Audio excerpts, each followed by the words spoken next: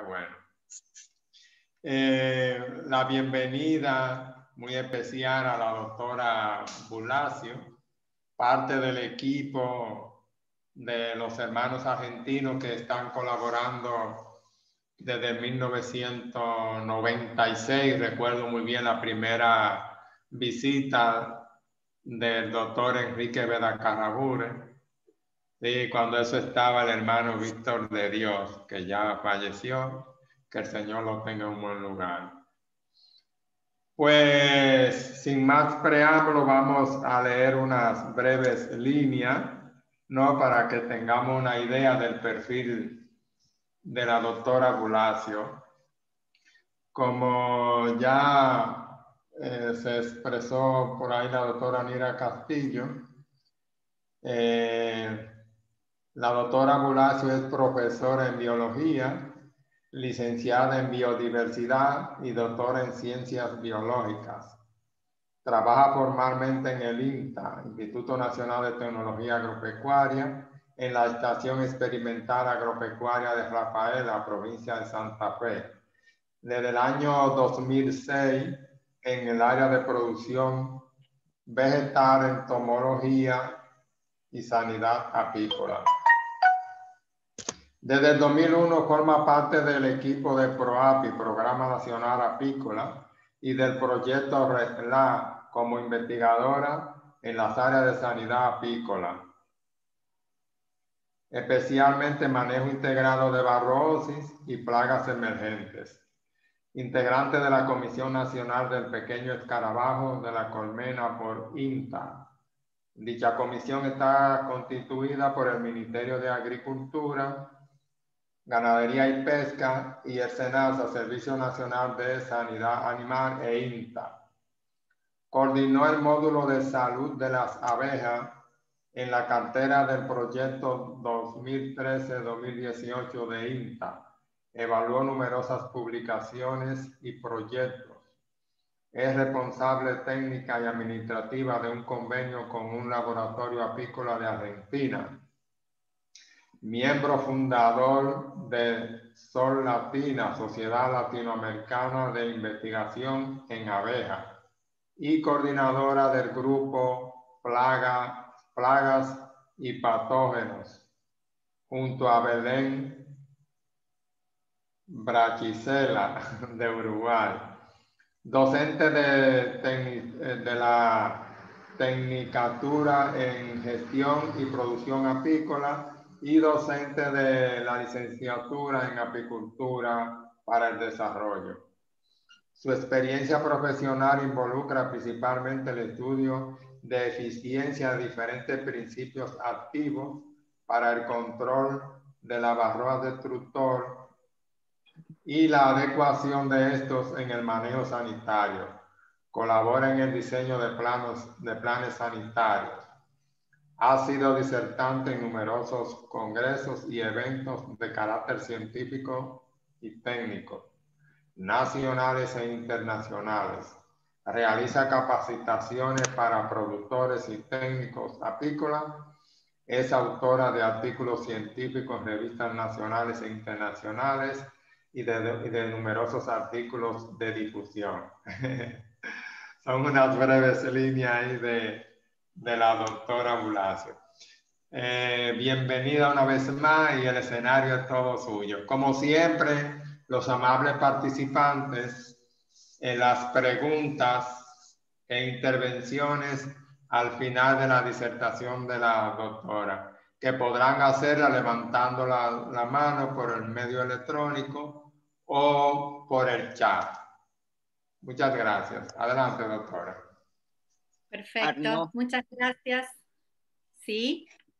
También se quedó que la doctora Bulacio fue una de las que nos actualizó y entrenó en la parte de enfermedad de las abejas a los técnicos apícolas y a los médicos veterinarios y epidemiólogos en 2018. Gracias. Cosas que seguimos haciendo, estamos replicando. Perfecto, perfecto. Buenas noches a todos. Espero que, que tengamos una noche agradable, que puedan eh, satisfacer todas sus dudas, no tengan temor en consultar. Em, yo voy a empezar a hablar sobre barrosis y después vamos a hablar sobre el pequeño escarabajo de la colmena. Esta es la primer parte que, vamos a intervenir nosotros desde eh, la temática de sanidad. ¿Se me escucha bien? ¿Podemos empezar? Sí, se le escucha bien. Perfecto. Cualquier cosa me interrumpen. Eh, bueno, yo titulé de esta manera Barrosis, Estrategias de Manejo Integrado, porque no solamente voy a hablar sino de la barrosis, sino también de qué estrategias o qué herramientas tienen los productores o podrían tener los productores apícolas para enfrentar esta parasitosis. Yo no abrí la ver. ¿Y quién fue? Lo que les voy a pedir a los participantes, por favor, que silencien los micrófonos, porque si no yo pienso que me están preguntando a mí y detengo la, la, charla. Excúsame, excúsame. No, un gusto. Buenas noches. Bueno.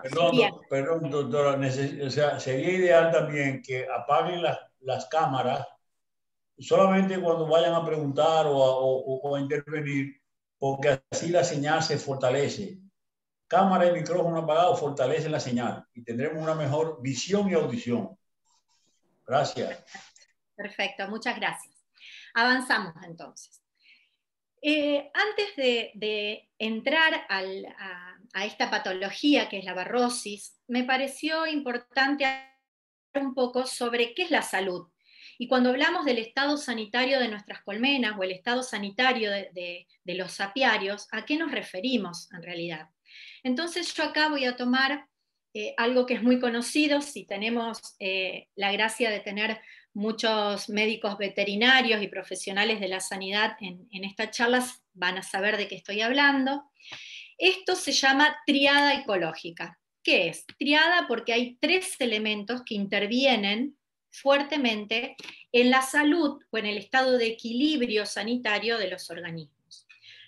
Cuando hablamos de esta triada estamos hablando del agente patógeno, que en nuestro caso específico podemos hablar sobre Barroa destructor, Nosema apis o Cerané, que causa la nocemosis, ustedes lo van a ver en la próxima charla, plagas como el pequeño escarabajo de la colmena, y otras enfermedades como la cría, la cría de calo, la cría ensacada. Bueno, todos esos son los agentes patógenos que van a impactar, van a enfermar a un huésped susceptible. En este caso, este huésped es apis melífera, es la abeja.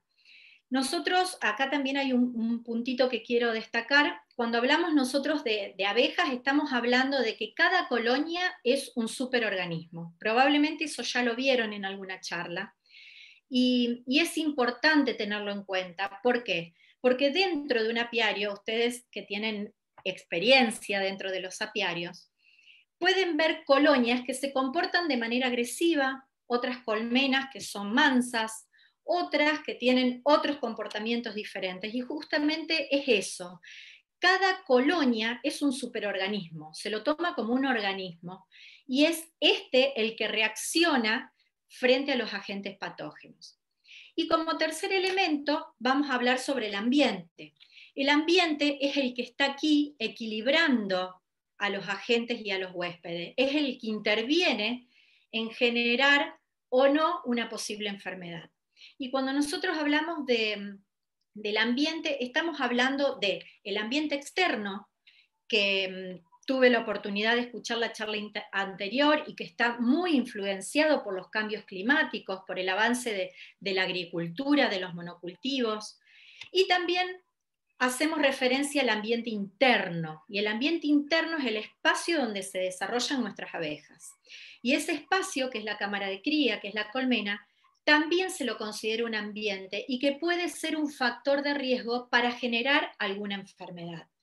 Por eso em, es importante tener en claro esto, que para que haya salud y enfermedad, tiene que, haber, tiene que darse esos tres, esos tres em, puntos. Entonces, si esto se mantiene en equilibrio, estamos hablando de salud, de un estado sanitario bueno de los apiarios. Ahora, si aquí, eh, debido al ambiente o algún factor, factor condicionante puede ser humedad, excesivas lluvias, hace que surja un agente etiológico, un patógeno, puede ser nosema, ahí comienza lo que nosotros denominamos una enfermedad, ¿sí? con síntomas y, características específicas. Bien, ahora que pude introducirlos en, el tema de, sanitario, em, vamos a hablar sobre qué enfermedades pueden padecer nuestras abejas. Nuestras abejas pueden tener barrosis, la puse en primer lugar porque es la principal enfermedad que a nivel mundial causa pérdidas económicas prácticamente incalculables. La nocemosis, que lo van a ver en la próxima capacitación, en la próxima charla. Las virosis, que hace un par de años, ¿sí? aproximadamente unos 10 años, han entrado en, en vigor y se ha estado estudiando y se estudia fuertemente porque hay muchos virus que están asociados a Varroa destructor. Loque americana, loque europea, ascoferosis o cría yesificada, creo que ustedes la llaman cría de cal. Eh, y también hay eh, enemigos naturales de nuestra apis melífera. Y esos enemigos podrían ser la polilla de la cera, las hormigas, y también hay enemigos exóticos. Estos enemigos exóticos son los que vamos a abordar hoy, porque nos interesa desde Argentina poder transmitirle un poquito más de conocimiento sobre el pequeño escarabajo de la colmena, eh, porque eh, la dispersión que está teniendo esta plaga, este escarabajo, eh, es importante y los daños que ocasionan las colmenas lo son más. Bien, entonces esta noche vamos a empezar a hablar sobre barrosis, de qué se trata esta patología, cómo podemos empezar a manejar nuestras colmenas para, hacer este manejo integrado, qué es el manejo integrado. Y finalmente les voy a hablar del pequeño escarabajo. Eh, espero no se duerman, espero que les interese la charla y, vamos entonces con la, con la primera enfermedad. La barrosis está ocasionada o, el, agente etiológico, el que ocasiona esta enfermedad llamada barrosis, es Varroa destructor. Este parásito, eh, no voy a hacer historia de, esta patología, si a alguno les interesa, después podemos ampliar, pero este parásito eh, está totalmente adaptado para colonizar y cumplir todo su ciclo de vida dentro de las, de las colmenas. Como ustedes pueden ver, tiene un exoesqueleto que se llama idiosoma, que está deprimido dorso ventralmente, es como un plato sopero dado vuelta. Tiene muchísimos pelos, uñas y púas que, ayudan a la fijación en la abeja y a, poder manejarse dentro de la colmena fácilmente. Eh, es un ectoparásito obligado de Apis mellifera, Em, de apis, en realidad, porque también parasita a apis cerana, que es la abeja asiática. Digo que es un, parásito obligado, estoy hablando de que sí o sí tiene que vivir de la abeja para ellos poder multiplicarse. ¿sí? Eh, lo podemos encontrar eh, de manera visible, es, es, un, es, un, patógeno que es macroscópico, que se ve a simple vista, pero como esta imagen lo indica, puede camuflarse bastante bien entre los segmentos, entre los terguitos del abdomen de la abeja. Eh, bueno, como les decía, está adaptado, tiene muchísimas adaptaciones, tiene ventosas en sus patas para poder fijarse y trepar, tiene un aparato, eh, un aparato bucal específico para lacerar, para cortar el tegumento de la abeja y así succionar estructuras. Eh, también tiene, ahí está, esto es visto ventral, la panza de Barroa, también tiene un par de tubitos que funcionan a modo de snorkel, que se llaman peritremas, tienen, fíjense, un montón de pelos sensitivos y en el borde de su esqueleto, de su caparazón, tiene ganchos para poder sujetarse. Es decir, este parásito está totalmente adaptado y se está adaptando permanentemente a convivir con nuestras abejas. Y esta adaptación llega que en muchos lugares del mundo em, el productor apícola tiene que, tiene que intervenir con, con, quimioterapéuticos, con acaricidas, porque si no pierde las colmenas. Bien. Cuando ustedes me van a decir, ¿para qué me va a hablar del ciclo de vida de, de este bicho? ¿Para qué me interesa?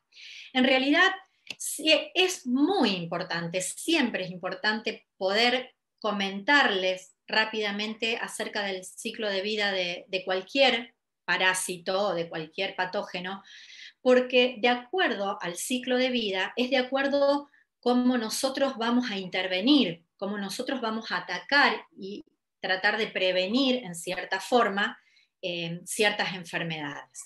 Siempre digo, eh, a lo mejor algunos me han escuchado cuando fui para allá a hablar, eh, tienes que conocer a tu enemigo para saber dónde es el punto más débil para poder atacar, para poder derribarlo. Bien, entonces con respecto al ciclo de Barroa, tiene dos grandes etapas o fases. Una fase forética, que es la que ustedes tienen a su izquierda.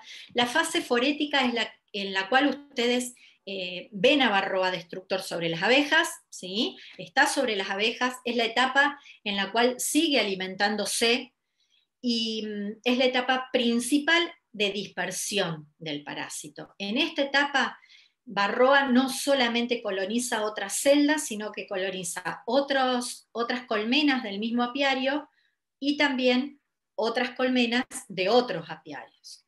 Y también tiene una fase reproductiva que permanece totalmente oculta, invisible a los ojos nuestros, y que eh, cumple todo su ciclo cuando se opercula la celda. ¿Estamos?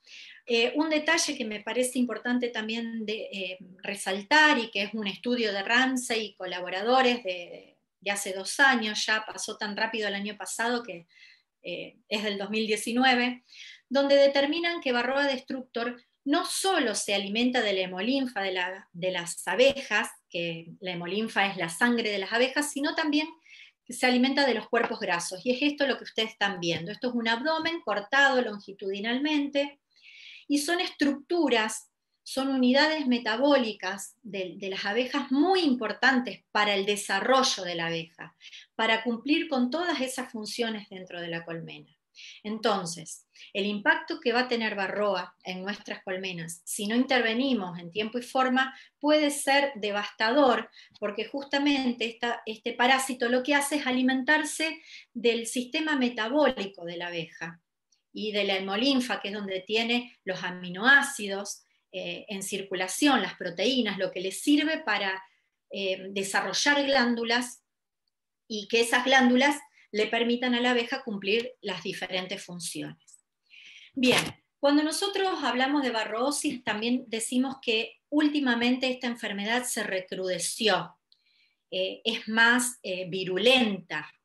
¿Y por qué decimos que es más fuerte, que es más virulenta? Porque justamente esa virulencia está dada por la asociación de algunos virus a Varroa destructor. Algunos de estos virus se multiplican en barroa, se multiplican en la abeja y causan otras enfermedades asociadas a, la barrosis. Em, para tener una idea, esto voy a ir un poquito rápido porque no quiero aburrirlos, ¿qué son los virus? Con esto de, esta pandemia del COVID ya estamos eh, hartos de escuchar qué es un virus y cómo actúa. Em, simplemente es comentarles que los virus son estructuras, ¿sí? estructuras que necesitan sí o sí la célula de un hospedador, en nuestro caso la célula de la abeja, para poder multiplicarse. De otra forma, permanecen inactivos. Y tienen diferentes estructuras. ¿sí? En general, eh, el material genético está protegido por una cápsula de proteína y cumplen diferentes funciones. Eh, varios de los virus que ahora les voy a nombrar, eh, varios de los virus de las abejas, por supuesto, mantienen una larga relación, una coevolución con las abejas. Están evolucionando permanentemente mientras la abeja sigue su, vida, su proceso. Y muchos de esos virus persisten en niveles que, que no nos damos cuenta, ¿sí? en, formas inaparentes, pudiendo en determinados momentos y en determinadas condiciones causar una determinada enfermedad. Y como ustedes pudieron ver aquí, si me permiten, esta es una de las enfermedades que ocasiona eh, una alta prevalencia de Varroa y está dada por una virosis que, eh, que, ahora la voy a mostrar, que es el virus de las alas deformes. Esta es una de las eh, virosis que está muy asociadas a la prevalencia de Varroa. ¿sí? Varroa actúa como un vector de estos virus, incorporándolo dentro de las abejas. Bien, en la actualidad hay entre 30 y virus, 20 y 30 virus eh, identificados para la parálisis. Hay eh, muchos que intervienen, ¿sí? que están asociados en esta virulencia y, eh, con Barroa, y hay otros, por ejemplo, como el virus de la parálisis israelí, el iridiscente, que lo asocian con el CCD, ¿sí? con el síndrome de colapso de, las colmenas. Esto simplemente son estudios que llevamos a cabo en, Argentina hace un par de años atrás, y es para mostrarle el impacto que tiene el, el, mal control de Barroa sobre la expresión de los virus, sobre que aparezcan esos virus. En realidad, acá lo que ustedes ven es el porcentaje de Barroa y acá la cantidad de virus en circulación dentro de las colonias. Con un porcentaje de infestación un poquito superior al 4%, se detectaron en un ensayo determinado eh, una especie de virus, ¿sí? una cepa de virus. Cuando esta prevalencia en otras colmenas que no fueron eh, curadas con acaricidas llegó prácticamente al 8%, ya empezaron a aparecer otros virus dentro de esas colonias. Es decir, que Barroa, en este caso el aumento de la prevalencia de Barroa, lo que estaba haciendo es expresar, es posibilitar que aparezcan otros virus. Eh, otro de, los, de, las evaluaciones que se hicieron con respecto al, virus, principalmente al virus de las alas deformes, fue tener colmenas eh, positivas al virus de las alas deformes y aquí lo que vemos es cómo a medida que aumenta, se ve las flechitas, ¿no es cierto? A medida que aumenta la prevalencia de Varroa, aumenta la cantidad de virus de alas deformes dentro de las colonias. ¿Está? Con prevalencias entre 0 y 5, la positividad del virus es muy baja, pero ya con prevalencias cercanas al 10%, más del 10%, empezamos a ver abejas con las alas deformes, abejas que nacen y mueren directamente, con, las, artejos, las patas en muñón, eh, faltan artejos, y bueno, y un sinfín de, cosas que hace a, la sintomatología de esta enfermedad. Eh, ¿Por qué hablo de, estas virosis? Me detengo un poquito, porque están muy relacionadas con Barroa. Seguramente ustedes tuvieron oportunidad de ver ah, eh, virus no el virus, sino la sintomatología, abejas con alas deformes. Entonces, hay que evitar los factores predisponentes que pueden ocasionar que estos virus se, repliquen, aumenten en las colonias. Y eso es controlar en, tiempo y forma y monitorear el principal vector que es Varroa destructor. Entonces, si nosotros tenemos un manejo de la barrosis adecuado, estamos indirectamente controlando las virosis y otras patologías. Es como que Barroa es la puerta de entrada, ¿sí? es el estresor principal de las abejas para que ingresen otras, otras enfermedades. Cuando yo digo monitorear, ¿a qué me estoy refiriendo? Cuando hablamos de métodos de diagnóstico, estamos hablando de la prueba del frasco. Seguramente ustedes la han escuchado, la han podido, la hacen en sus, en sus colmenas. La prueba del frasco es una prueba muy sencilla, muy barata, económica. Los insumos que requiere esta prueba no, no son caros, no son costosos. Sí es importante realizarla correctamente para que tenga la eficacia que corresponde al método de diagnóstico. No son eficaces 100%, pero mientras más rigurosidad tengamos en tomar las muestras, más real va a ser el diagnóstico que nos esté dando a nosotros de, nuestros apiarios. Entonces, eh, me voy a detener un, ratito en, comentarles cómo se hace la prueba y después podemos eh, profundizar más si quedó alguna duda. Nosotros tenemos que tomar, primero, aplicar humo correctamente, abrir la tapa y tomar tres cuadros del nido de cría. ¿Por qué? Sabemos que Barroa está principalmente sobre las nodrizas, esperando permanentemente poder tener celdas apropiadas para introducirse y, multiplicarse y reproducirse.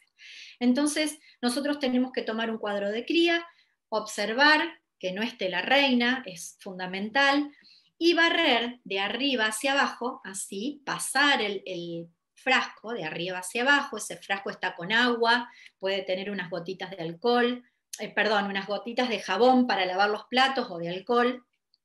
Y así se barren de las dos caras de tres cuadros de cría. Luego se sacude, se rotula, se pone un numerito, ese numerito tiene que ser el mismo que la colmena que yo estoy monitoreando. Se, se eh, mueve, se agita bruscamente ese frasco y se pasa por dos tamices. Un tamiz que retenga las abejas y otro tamiz que retenga las barroas. Eh, yo acá pongo el grifo porque mm, nunca me quiero olvidar de comentar que es importante que se pueda lavar las abejas y siempre con, la bandeja para que caigan los, ácaros. Porque recuerdan que yo les comenté que Barroa tiene muchos pelos, nuestras abejas tienen muchos pelos y quedan enganchados. Entonces es importante un lavado de la muestra. Luego se hace, eh, se hace eh, esta formulita, se cuenta la cantidad de ácaros, la cantidad de abejas se multiplica por 100 y nos da el nivel o el porcentaje de infestación de esa colmena. Entonces, ¿qué es lo que nosotros tenemos que hacer?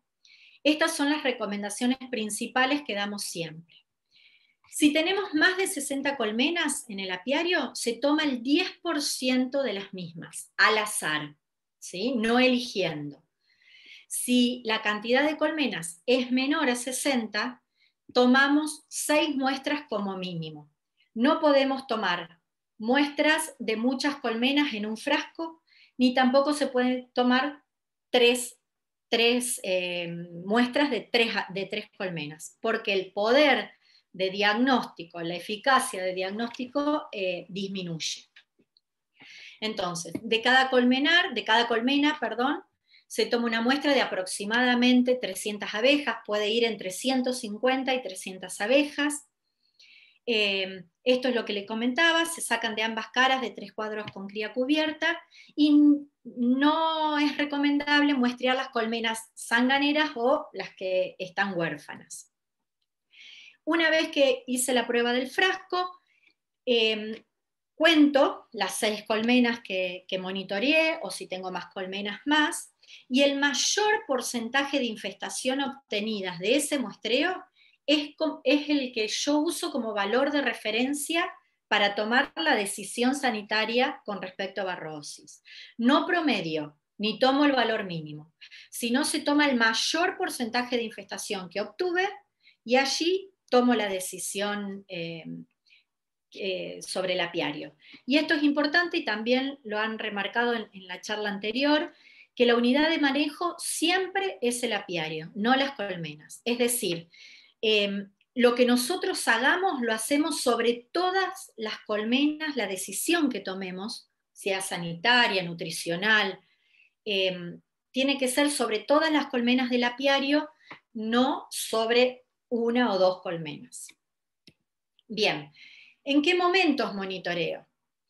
Antes de aplicar el tratamiento acaricida, esto nos sirve para conocer qué porcentaje, justamente nos sirve para diagnosticar, para tener un panorama, una visión de lo que está sucediendo en nuestro apiario. Si es importante, a esto le llamamos nosotros pretratamiento.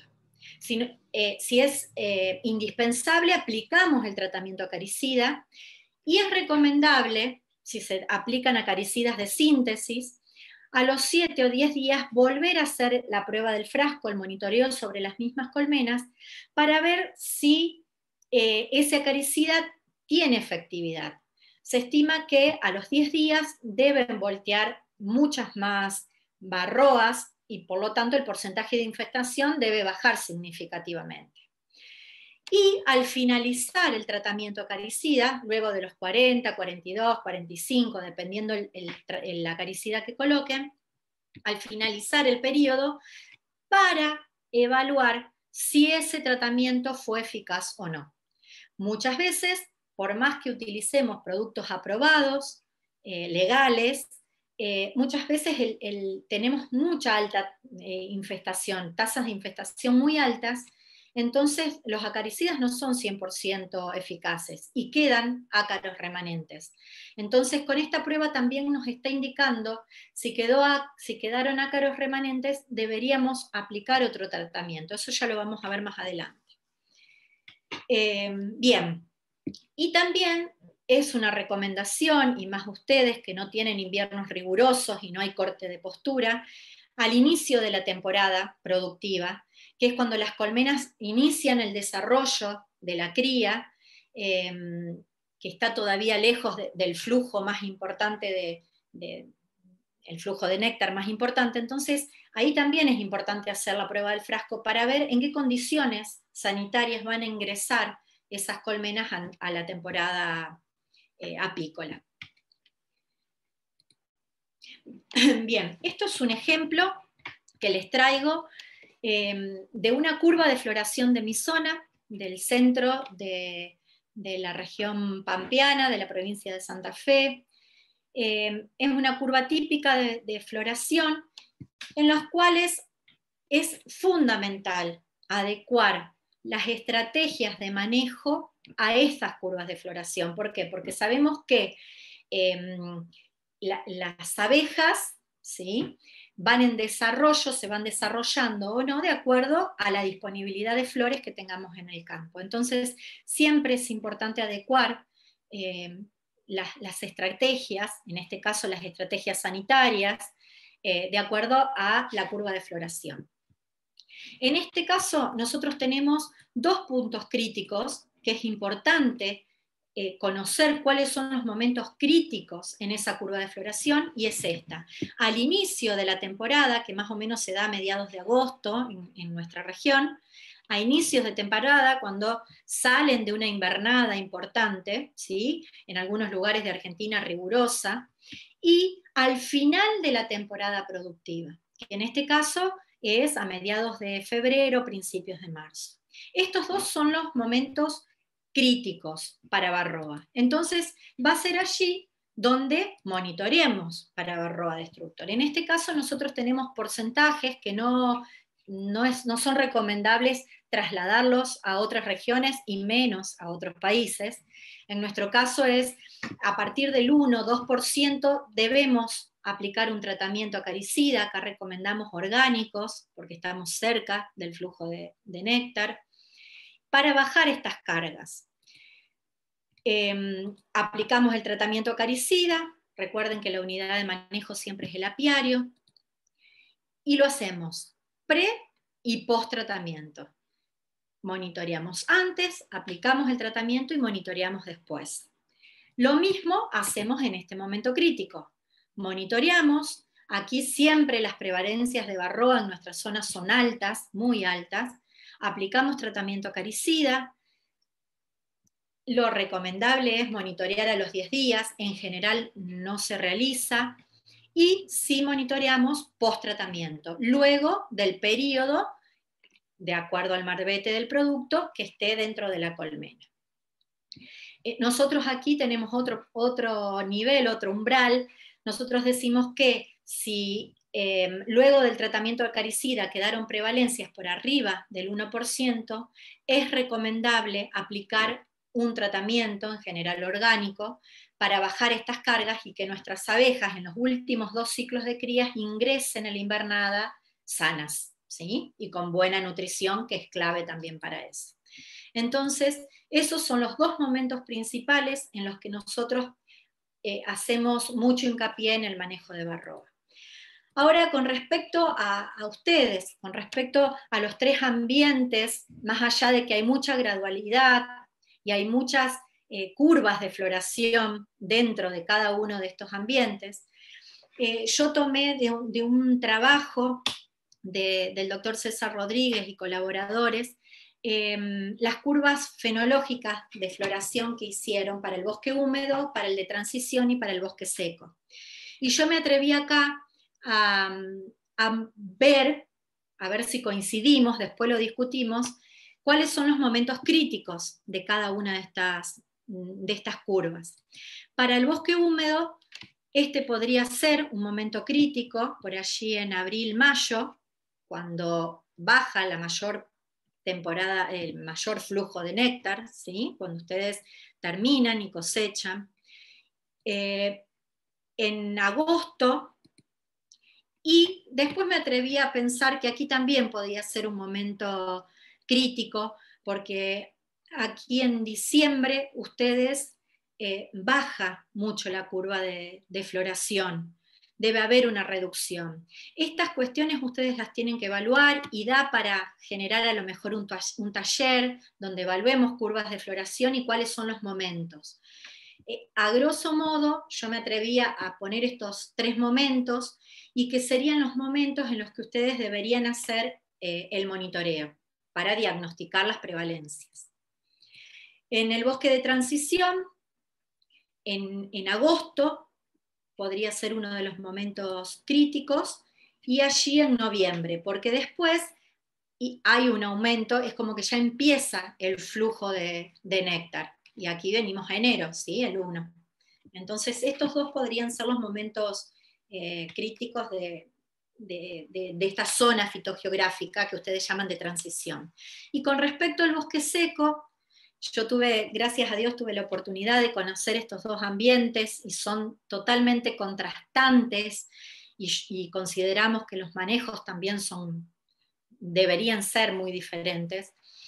Em, con respecto a eso, la curva fenológica eh, veo en, agosto un momento crítico, en esta curva es similar a la del bosque húmedo, hay un momento de bajada muy grande, donde disminuye muy bruscamente el flujo de néctar, y después podría ser en diciembre, donde aquí tienen una pequeña floración y disminuye de nuevo.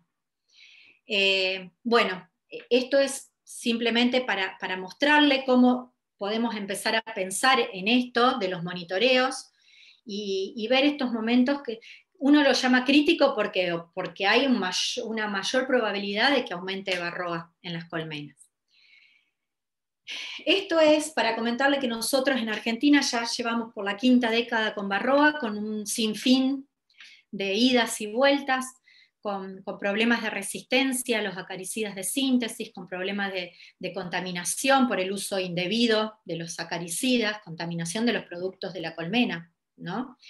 Eh, y que a partir del 98 se empezó a desarrollar, se empezó a generar innovación con productos orgánicos. Ustedes, eh, sé que el, reporte de Barroa es muy reciente, es prácticamente la mitad de lo que nosotros llevamos transitado eh, con respecto a Barroa. Eh, ustedes detectaron el primer registro, por lo menos, fue en el 95, entonces hay, hay mucho camino todavía por andar. Y dentro de ese camino por andar, la propuesta es eh, hablar sobre el manejo integrado de esta, de esta, patología, de esta enfermedad.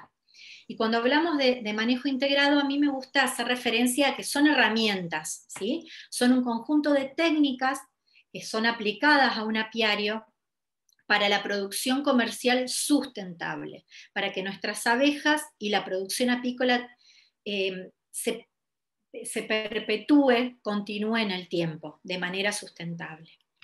Entonces, este manejo integrado, nosotros vamos a hablar específicamente hoy del manejo integrado de la barrosis, ¿sí? y que no solamente el manejo de la barrosis es aplicar acaricidas, ¿sí? se utilizan otras herramientas que lo que van a hacer es potenciar ¿sí? Eh, la eficacia de esos acaricidas. Voy muy rápido, estoy hablando muy rápido, Va bien, va bien, doctora. están, todos silenciados y yo los hice hablar. Bien, para. muy bien. Bien, seguimos. No los quiero, no los quiero aburrir y ya vamos por media hora de, charla.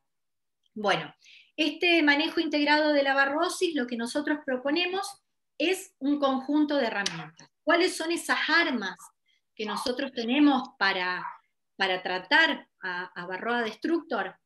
Principalmente sabemos que se utilizan acaricidas de síntesis. En las peores condiciones se utilizan productos ilegales o artesanales, que nosotros los llamamos así para, para que sean menos, menos drástica la palabra, pero resultan ser, eh, más que todo en nuestro país, donde tenemos productos aprobados por SENASA, que es, que es el sistema de sanidad, eh, el encargado de, legalizar esos productos, eh, hay productos ilegales. Y en el peor de los escenarios se utilizan esos, esos productos y se utilizan cóctel, que son los cócteles, las mezclas de acaricidas de síntesis.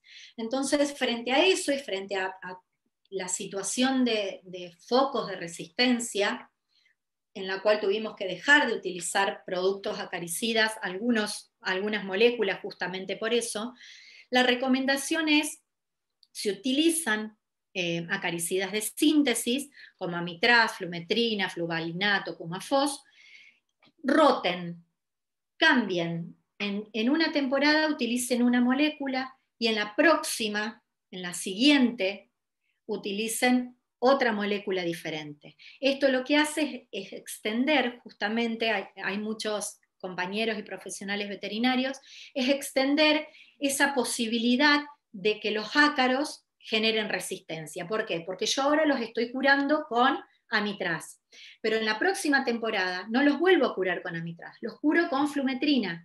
Entonces los ácaros que van quedando los voy matando con otras moléculas. Por eso es fundamental la rotación de esos acaricidas de síntesis. Es muy importante que dentro de los planes sanitarios ustedes puedan incorporar acaricidas orgánicos, porque dentro de esa rotación que yo les propuse o les estamos recomendando, al incorporar acaricidas orgánicos lo que se hace es extender más esa cura eh, de síntesis sintética. Entonces, hoy curo con amitraz, pero después puedo, puedo curar con un orgánico y después recién curar, de acuerdo a mi curva de floración, volver a curar con otro de síntesis. Entonces, de esa forma, eh, podemos retardar o extender estos procesos de resistencia que lamentablemente son inevitables y no solo en, en barroa, sino en, en todos los organismos vivos. Otra de las herramientas que tenemos es esto que les estaba comentando, el diagnóstico. Nosotros poder saber en qué situación está de barroa esa colmena, estimarla. Y eso se hace gracias a la prueba del frasco. Eh, el tratamiento zonal coordinado, esto hace referencia a, poder coordinar estratégicamente el momento de cura y el acaricida que se va a usar en una zona determinada entre los productores. Es muy difícil de llevar a cabo, pero no hay que bajar los brazos porque es una de las estrategias de los planes sanitarios eh, muy fuertes, ¿sí? Aplicar el mismo tratamiento en el mismo momento dentro de una región. Entonces se produce un control mayor de la parasitosis. Eh, otra, otro de los pilares es la selección genética de abejas tolerantes al parásito con alto comportamiento higiénico. Eh, el recambio de reinas.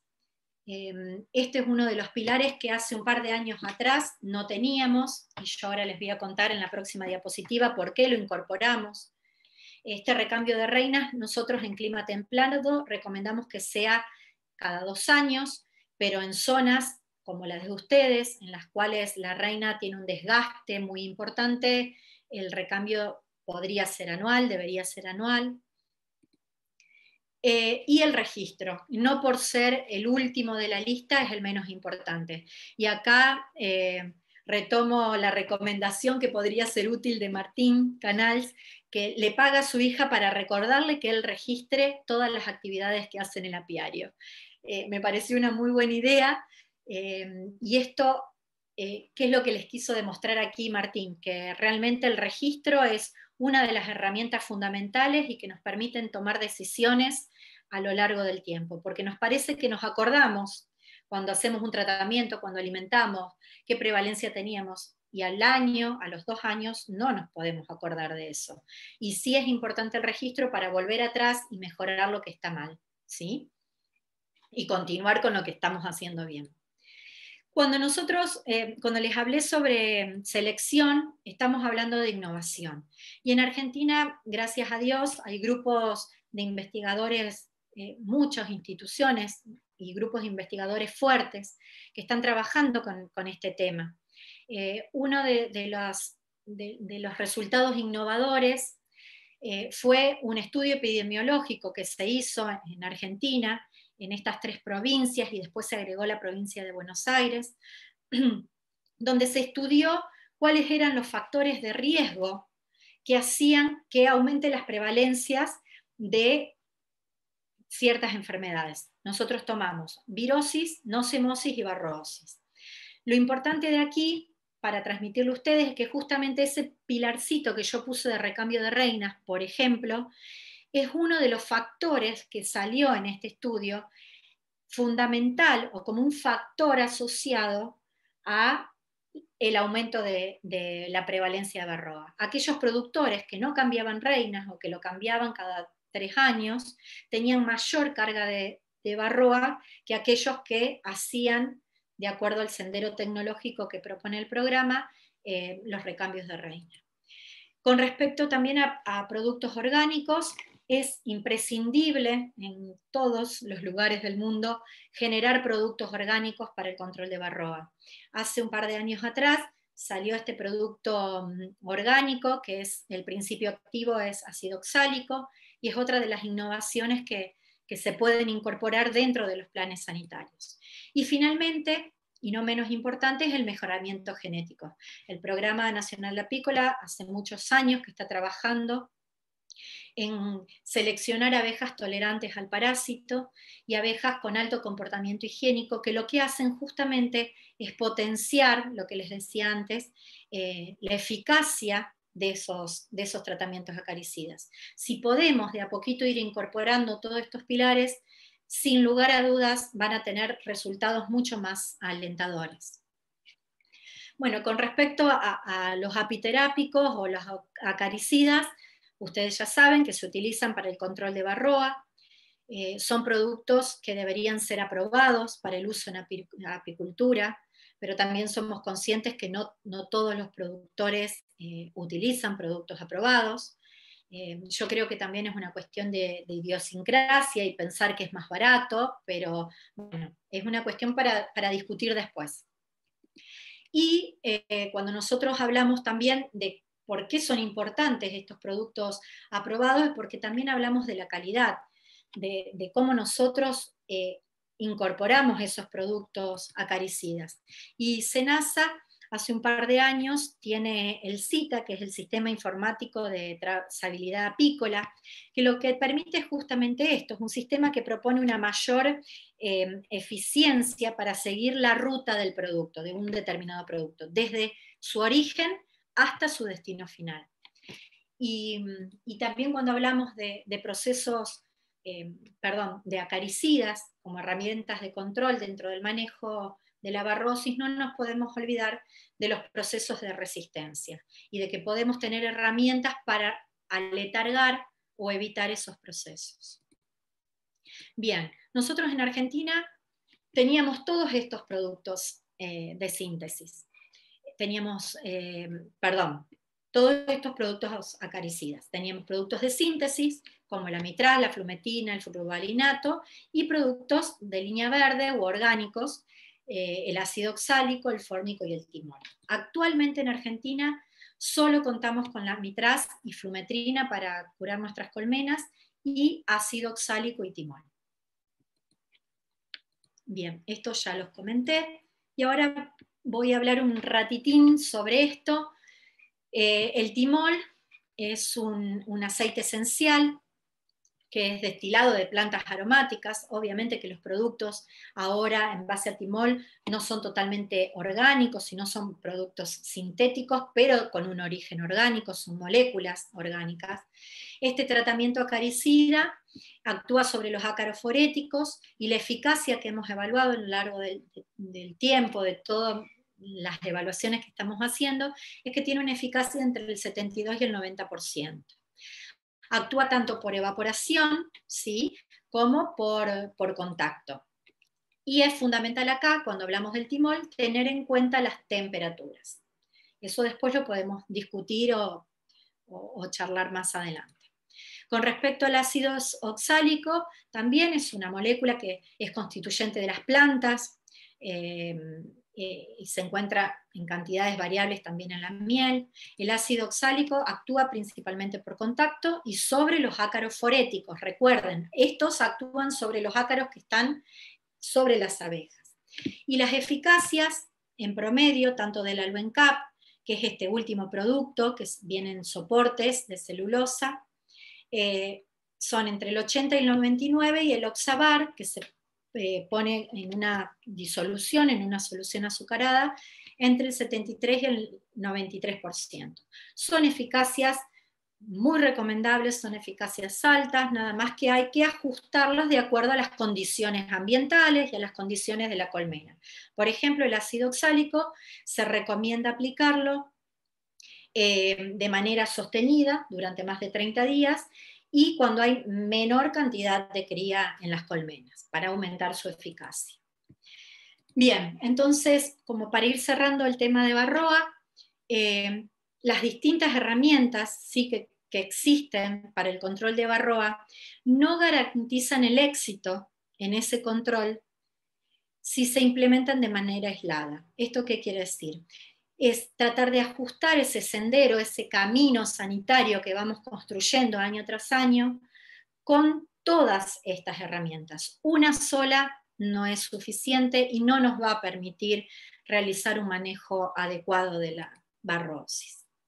Bien, respiramos un ratito, tomo un poquito de agua y comenzamos con una plaga que por lo que tengo entendido, ustedes están haciendo eh, algunos monitoreos y no la han reportado. ¿Es así? Sí. Mira. Hasta el momento. Hasta el momento. Crucemos los dedos entonces para que siga así la situación. Bien. Con respecto al pequeño escarabajo de la colmena, la, propuesta es mostrarle un poquito sobre la biología. Recuerden que es importante conocer a las plagas para poder saber dónde son más vulnerables o dónde eh, poder monitorearlas, poder encontrarlas. Y qué hacer, ¿sí? qué herramientas podemos tener para, para controlar y para, bueno, estar buscándola. Nosotros nosotros, al igual que la Argentina, ustedes dominicanos y nosotros argentinos que aún no la hemos detectado, lo que tenemos que hacer es empezar a buscarla, ¿sí? a buscar este, a esta plaga. Em, vamos a hacer un poquito de, recorrido. Esta plaga es originaria del África subsahariana, del, del sur de África, y se ha dispersado por muchas partes del mundo.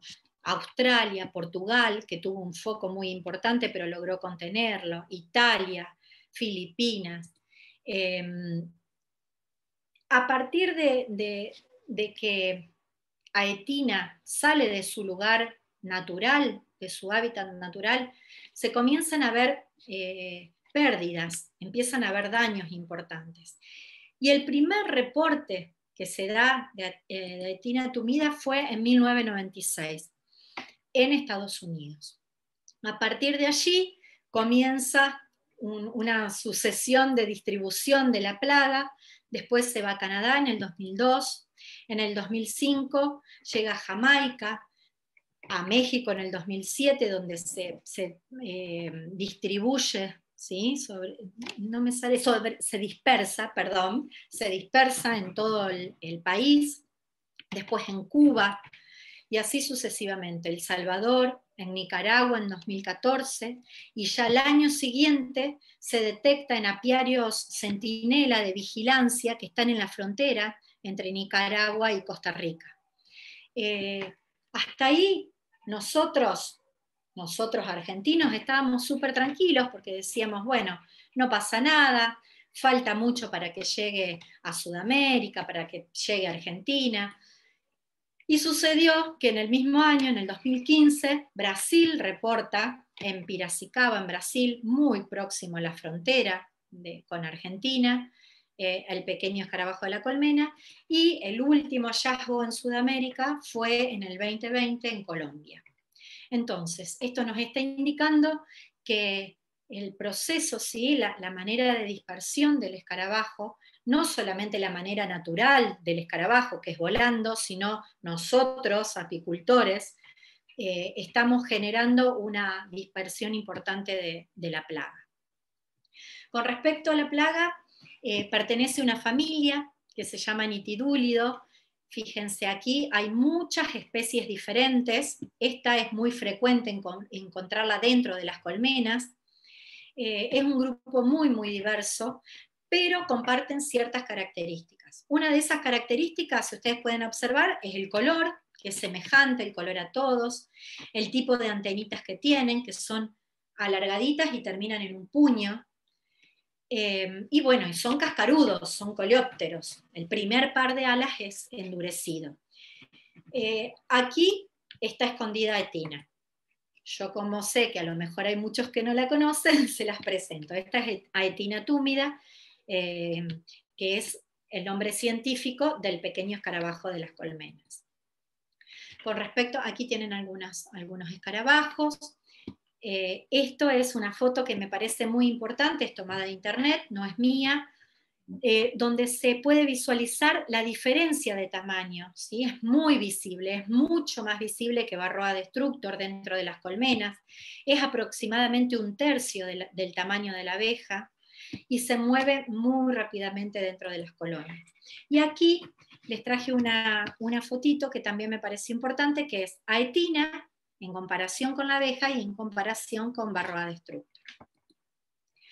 Bien, ¿cómo es el ciclo de vida del escarabajo? El escarabajo ingresa volando dentro de la colmena, generalmente ingresa por la piquera, que es el lugar que está más abierto, más expuesto de, la colmena, pero si esas cámaras de cría están muy dañadas y poseen muchas aberturas, puede ingresar por cualquier abertura de la colmena. Y una vez dentro, em, comienza todo su ciclo.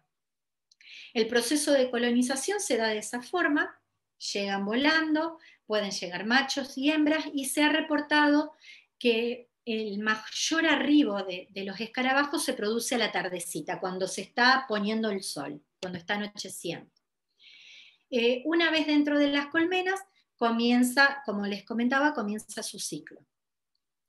Eh, estas hembras empiezan a poner huevos, esos huevos los ponen en masa, no como en la abeja, que pone un huevo en la celda, sino que los pone en lugares muy, muy ocultos y protegidos del pasaje de las abejas, los ponen en masa. Son huevos muy, muy pequeñitos y que son prácticamente imperceptibles por, el ojo del apicultor, a menos que nos detengamos a verlos, si se ven. Eh, pasado el, tiempo de eclosión, eh, perdón, el tiempo de, postura de ese huevo, eclosiona y nace una larva. Esa larva pasa por diferentes estadios, es muy pequeñita y llega a medir algunos centímetros, tres o cuatro centímetros, pero aquí es donde se produce el, la fase larval es la fase donde se produce el mayor daño dentro de las colmenas, porque es la fase en la que la larva se tiene que alimentar y la voracidad que tienen en estos estadios, en este estadio, es increíble. Como ven aquí, lo que hace se alimenta, ya vamos a ver de qué, pero también rompe los panales, rompe la estructura del panal, causa un colapso importante dentro de las colmenas. Pasado esos, esos días, entre 10 y 16 días, después ya vamos a ver, esa larva que estaba muy ávida de consumir, empieza a tener estimulación por la luz. Entonces, lo primero que ve donde ingresa la luz en la colmena es la piquera. Entonces, sale de la piquera, ese es, ese es el periodo errático de la larva, sale por la piquera e inicia su ciclo fuera de la colmena. A diferencia de Barroa, que cumple todo su ciclo dentro de las, dentro de la colmena, sobre las abejas y dentro de la cría, Aetina túmida lo que hace es cumplir su ciclo reproductivo, la postura y la etapa larval dentro de las colmenas, pero la etapa de pupa, ¿sí? la etapa de letargo, la cumple enterrada en el suelo. Puede caminar, ¿sí? puede deambular, reptar algunos metros o hasta, se ha reportado hasta 100 metros. Allí excava rápidamente y comienza su último estadio, que es el de la metamorfosis, es el de la transformación, esta es una pupa, y así sale del suelo a las 3, 4 semanas, dependiendo de las condiciones ambientales, sale para volver a iniciar su ciclo eh, biológico. Bien, como les comentaba, los adultos huyen de la luz. Esos son datos importantes, no menores, porque después se van a dar cuenta dónde los vamos a buscar. Los adultos del escarabajo, como estos, huyen de la luz y las larvas tienen afinidad por la luz, o sea, se van a acercar a la luz, van a ir hacia la luz. Bien, esto es un cuadrito comparativo para que puedan ver en promedio cuánto es el periodo de desarrollo del huevo, de la larva, de la pupa y, cuánto en promedio puede vivir eh, el, el individuo adulto. Lo que yo acá quiero destacar es la amplitud que tiene este estadio. Y justamente eso está condicionada por las condiciones climáticas y ambientales y las condiciones del suelo.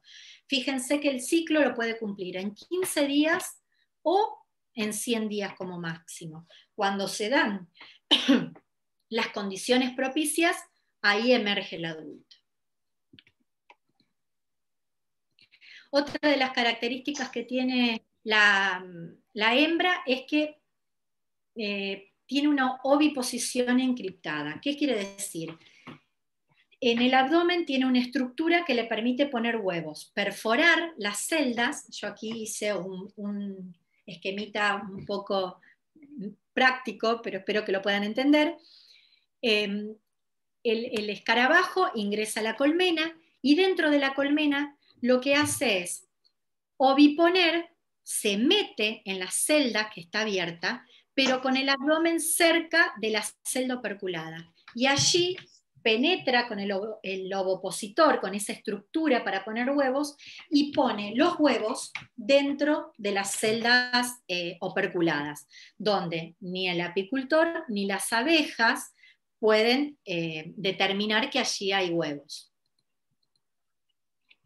Esto es una imagen donde se pueden ver que los huevos, aquí por ejemplo, esto es un huevo de, una abeja, de la abeja, y aquí hay todos puntitos blancos, no sé si se puede apreciar, em, son huevos de, aetina. ¿Sí? Son muy pequeñitos. Ya cuando aetina comienza a oviponer así, de manera visible, es porque ha logrado invadir el nido de cría y se puede producir el colapso de la colmena.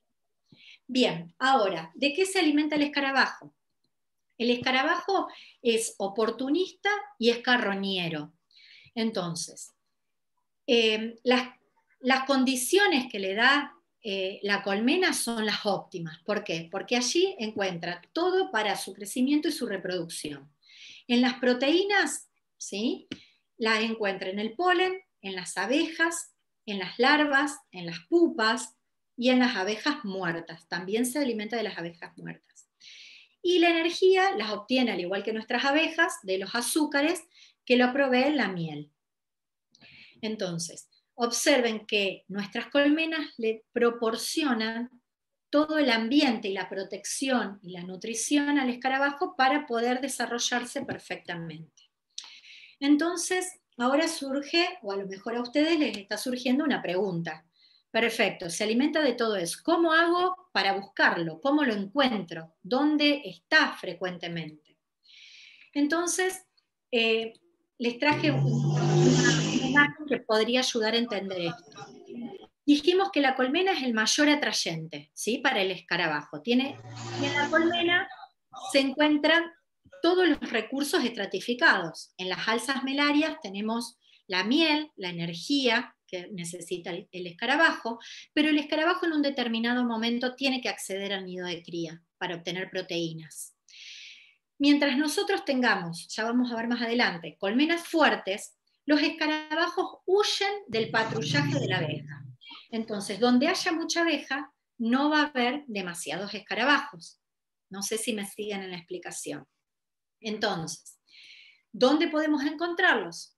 Principalmente en el techo o en la entretapa, si utilizamos entretapa, en los cuadros más externos de las últimas alzas melarias o en la cámara de cría, en los cuadros más externos, en los alimentadores, si utilizan alimentadores de, cámara, los Doolittle, o en, el, o en el piso. Ahí es donde frecuentemente los podemos encontrar. Eh, bueno, esto, ¿cómo, ¿cómo es su dispersión? ¿Cómo se pueden trasladar de un lugar a otro? Ya sabemos que tiene una alta capacidad de vuelo.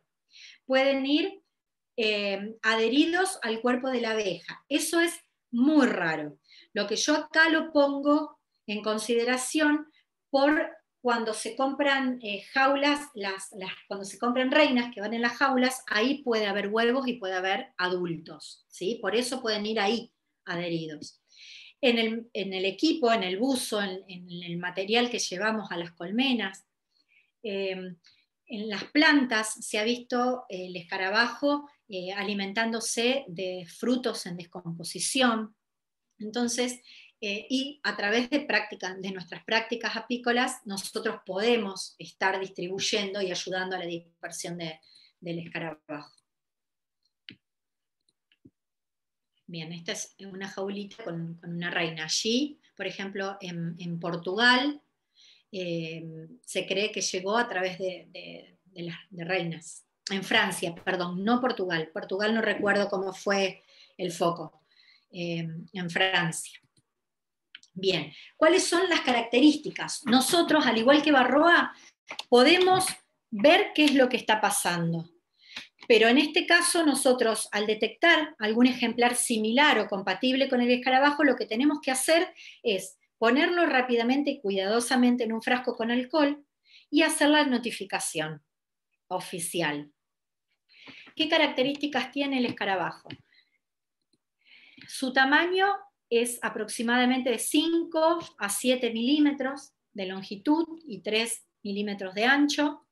Posee estas antenas características que se denominan antenas clavadas, que son filiformes y en la punta terminan en un muñón, en un globito, en un puño. Su tórax, esta es la cabeza, este es el tórax.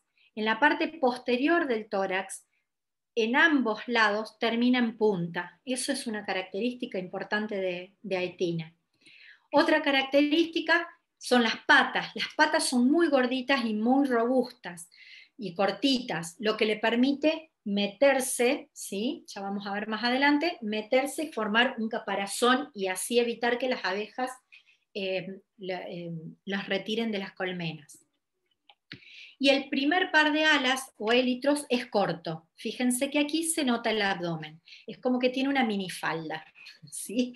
Le permite ver parte de la, de, la, del abdomen a la, abeja, ah, perdón, a, a etina.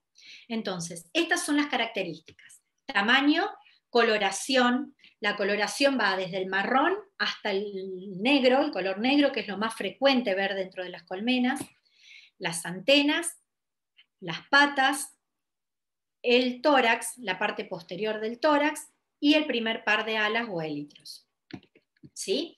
Eh, la recomendación es que se haga el reconocimiento, ¿sí? la identificación se realiza en el apiario, en las colmenas, y que se trate de buscar al adulto. ¿Está?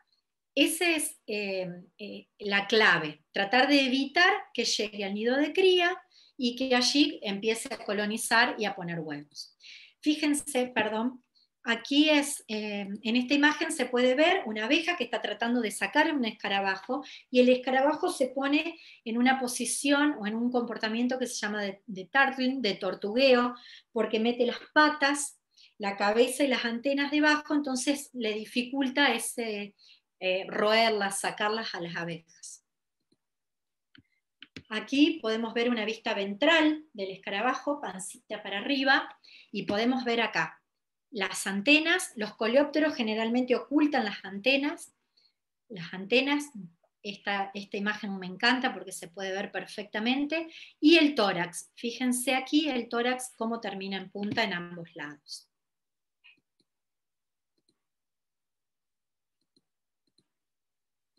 Bien, con respecto al otro estadio larval, que es eh, el de la larva, el, perdón, al otro estadio, que es el de la larva, el estadio larval, nosotros em, hacemos, tiene ciertas distinciones, pero lo comparamos con Galeria melonela, que es eh, la polilla de la cera. Nosotros estamos diciendo que Aetina es un coleóptero, ¿sí? es un cascarudo. Y la polilla de la cera es un lepidóptero, una mariposa.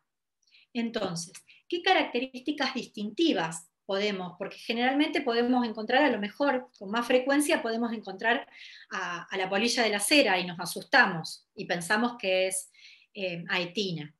Así todo debemos notificar, debemos tomar muestras y debemos notificar a la autoridad sanitaria competente. Si nos vamos hacia su izquierda, tenemos una larva de Aetina tumida. Aetina tumida tiene en la parte anterior, esta es la cabeza y esta es la parte posterior. Y en la parte anterior tiene tres pares de patas y en el, en el lomo, en el dorso, tiene dos hileras de espinas ¿sí? que recorren toda la longitud. Acá también se puede ver, es la vista de perfil y acá es una vista de arriba de la larva. ¿sí? Al final tiene dos puntas muy características también. Y no tiene aquí piecitos, solo tiene tres pares de patas adelante, en la parte frontal. ¿Por qué les digo esto? Porque a diferencia de la polilla de la cera, fíjense que la polilla de la cera también tiene tres piecitos, pero también en cada uno de los segmentos tienen falsos pies, ¿sí? Esa es una de las diferencias. Otra de las diferencias es el tamaño, y también una de las características es em, la dureza. Cuando nosotros apretamos a galeria un poquito a la, larvita, se rompe fácilmente. En cambio, de tina tumida, la larva es más dura, es más rígida. Y aquí hay una diferencia en el tamaño entre Aetina tumida y Galeria melonera y en las consecuencias que genera dentro de la colmena. Esto es propio, esta telaraña es propia de Galeria. Y este estado de la, cera, brilloso, eh, como un aspecto ceroso, y los panales destruidos, es una característica de Aetina tumida.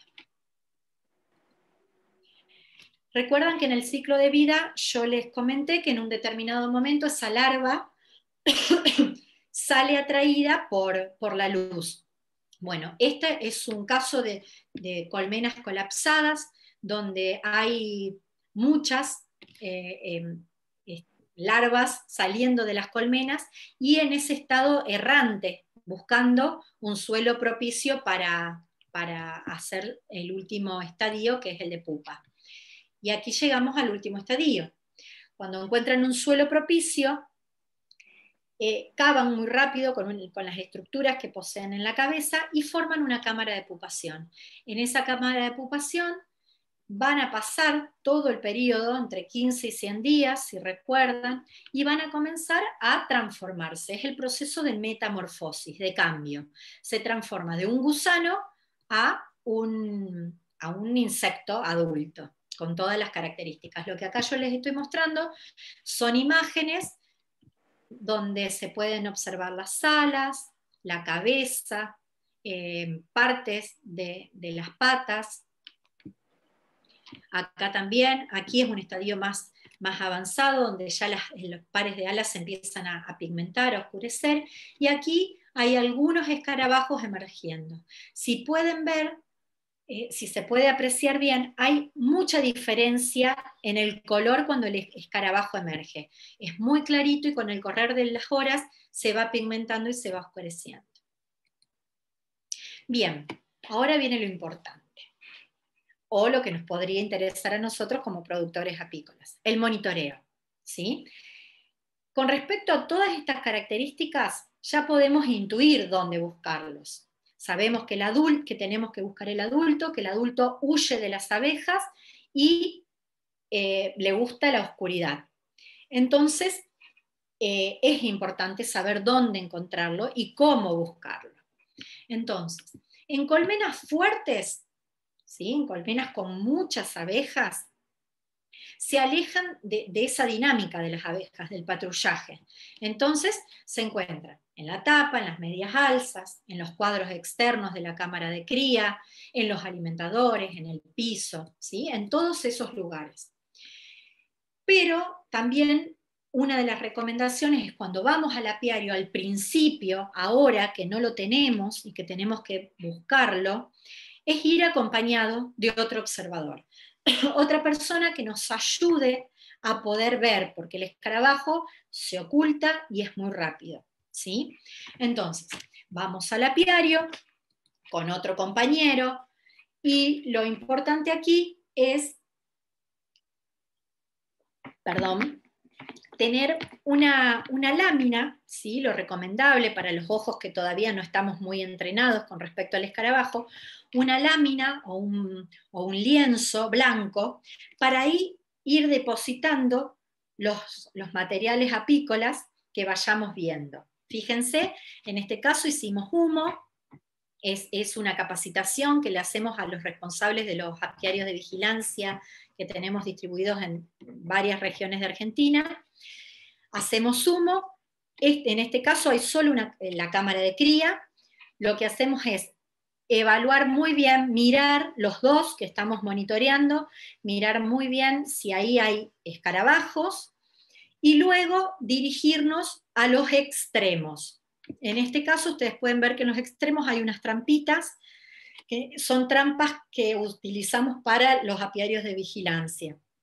En el caso en, en el que no tengan trampas, obviamente en sus colmenas, ustedes tienen que ver, sacar los cuadros más externos ver si ahí hay escarabajos, si hay alimentador, como en este caso nosotros tenemos alimentador, sacar el alimentador, si está vacío, darlo vuelta sobre la cámara, sobre, perdón, sobre el techo o sobre este lienzo y ahí ver si hay escarabajos. Y finalmente, lo recomendable es que estén desclavados, que no estén clavados los pisos, levantar la cámara de cría, ponerla sobre el techo y evaluar el piso.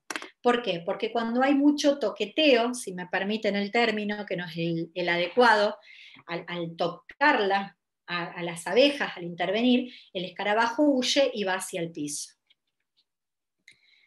Bien. Eh, ah, esto era lo que les comentaba, es la secuencia, ¿sí? Levantamos el techo, bueno, todo lo que les expliqué eh, recientemente. En cualquier lugar donde encontremos algo parecido a lo que les conté, ¿sí? algún ejemplar compatible con el escarabajo, hay que tratar de buscarlo, de ponerlo en un frasco con alcohol etílico al 96% y realizar la notificación. ¿sí? En nuestro país hay una resolución de SENASA que fue del 2016, donde la, la notificación, esa resolución, dice que la notificación debe ser inmediata y obligatoria. Esto es lo que les comentaba, estas trampas se ponen con aceite comestible, aceite de cocina, en los cuadros más externos, para que el escarabajo, huyendo del patrullaje de las abejas, caigan y se ahoguen. Nada más que eso, ¿sí? Pero aquí el motor de esas trampas, la fortaleza de las trampas está en la fortaleza de las abejas. Tenemos que tener colmenas sanas y bien nutridas para que ayuden a mantener el nido de cría protegido y que los escarabajos huyan y caigan en las trampas. Bueno, ¿qué daños puede ocasionar el, escarabajo? Muchísimos, y pueden ser eh, muy devastadores. Em, bueno, les comenté, los adultos y las larvas comen los huevos de las abejas, eh, también se comen a las abejas, a los huevos, a, las abejas muertas. Y lo que no les comenté antes, les comento ahora, es que en el tracto digestivo de Aetina tumida tienen una levadura, una, sí, una levadura que tiene este nombre medio difícil, Codamea meri, que cuando la larva come vorazmente también defeca de manera intensa. Y esa levadura se encuentra en las deyecciones y se alimenta de la miel. Y lo que ocasiona es la fermentación de la miel. Cuando un panal está fermentado, las abejas no lo retiran y se comienza a fermentar los panales que están aledaños, que están próximos. Imagínense lo que puede generar una larva en una sala de extracción o en un, depósito, ¿no? Bueno, la destrucción de, los panales, se destruye la estructura del panal, por lo tanto las abejas no tienen dónde eh, continuar sus ciclos. Hay serios inconvenientes en las salas de extracción y de acopio, justamente por los que les decía, cuando se demora mucho la extracción de la miel y van huevos y larvas que han pasado desapercibidos, ahí comienzan los problemas. También eh, hay muchos trabajos donde eh, determinaron y comprobaron que Aetina tumida es vector de virus, de bacterias, de hongos, o sea que es portador de otras enfermedades. Y también los daños no solamente los ocasiona sobre apis mellifera, sino también que se han detectado en abejas sin aguijón, en abejorros, en abejas nativas, eh, ocasionando obviamente daños y siendo potenciales reservorios esos, esas abejas silvestres de, escarabajos. Aquí lo que les quiero mostrar es varias imágenes con respecto a, colmenas colapsadas por etina tumida. Acá estos son, es una colmena bastante abandonada por el productor, donde hay mucha cera, hasta propóleos de hace mucho tiempo eh, sobre las colmenas, y aquí ya Aetina avanzó sobre el nido de cría y ya pone los huevos visibles a la vista, porque ya no les importa más pasar desapercibido por las abejas o por el apicultor, porque total ya, ya colonizó eh, los recursos que ella quería. Aquí también ¿sí? se ve a Etina y un grupo de huevos puestos. Estos son estructuras de panal totalmente destruido.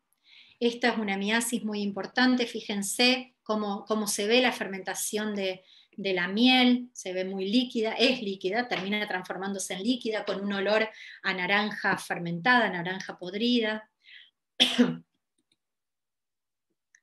Esto es el piso en una sala de extracción. Esto es una colmena totalmente colapsada, con la miel fermentada que sale por piquera y allí arrastra eh, abejas también.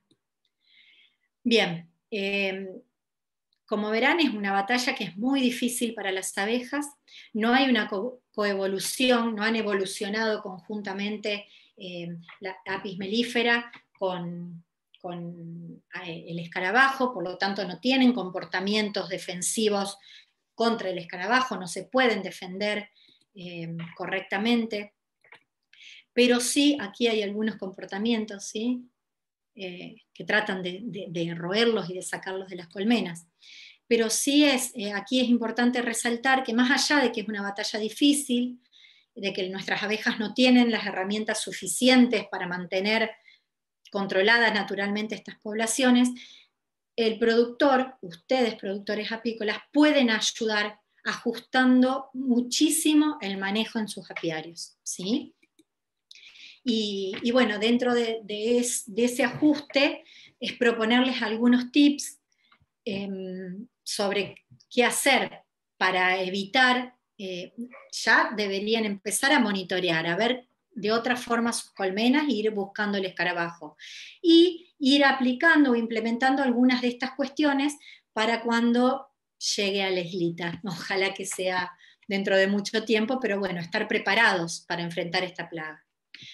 Eh, bueno, la fortaleza de la colonia es fundamental, es la mejor defensa para, para la colonia y, es lo ideal para potenciar la eficacia de esas trampas que les comenté. Es clave mantener la salud de, las abejas y aquí es recalcar eh, el diagnóstico y el control adecuado de, la barrosis. Eh, también ajustar el manejo de los espacios dentro de las colmenas. Eso contribuye a controlar el pequeño escarabajo de, las colmenas. ¿Qué quiere decir eh, adecuado manejo del espacio? Es ajustar el espacio en proporción a los cuadros cubiertos con abeja. ¿sí? Si tenemos tres cuadros cubiertos con abeja y tenemos la cámara entera, estamos cometiendo un error. Estamos dando espacio al escarabajo para que empiece a reproducirse.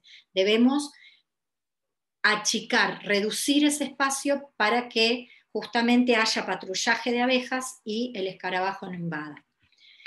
Eh, no se utiliza productos químicos para el control del PEC. Eh, hay muchos trabajos donde ya se ve casos de resistencia, eh, trampas donde los escarabajos terminan reproduciéndose dentro de las trampas porque no son eficientes. Otros, otros tips es, se deben realizar actividades en el manejo que reduzcan la posibilidad de que se alimente el PEC. Una de las cosas es, por ejemplo, adecuar la cantidad del, alimento suministrada al tamaño de la colmena. Si nosotros utilizamos en algunas zonas los suplementos proteicos, las patis, ajustar el tamaño de la pati a la, cantidad de abejas que tengamos, que, que esas tortas no estén más de 3-4 días en las colmenas, que las abejas las lleven enseguida. Los desechos de la cosecha de miel deben ser retirados inmediatamente, incluso mantener las cámaras de cría em, enteras, sanas, eh, la cera, los panales falsos, los propóleos, todo eso ir eh, eh, limpiando los cabezales, porque son lugares donde el escarabajo se esconde y empieza a oviponer. Em, si hay una colonia infestada, se deben deshacer de los cuadros para evitar que las larvas lleguen al suelo, sumergiendo esos, eh, eh, cuadros perdón, en grandes contenedores con agua y jabón. Se los mantiene así hundidos, eh, sumergidos, perdón, y las larvas se ahogan y pueden recuperar ese material. países que no tienen que ah, los países que no tienen el escarabajo, no sabía que había querido poner ahí, los países que no tienen el escarabajo debemos notificar, es nuestra obligación sanitaria eh, notificar.